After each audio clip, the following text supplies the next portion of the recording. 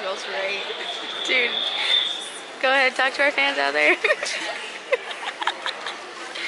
Guys, we're moving out from LA and we're moving to New York now. Allie, do you want to comment on that? I hope you pack your sweaters.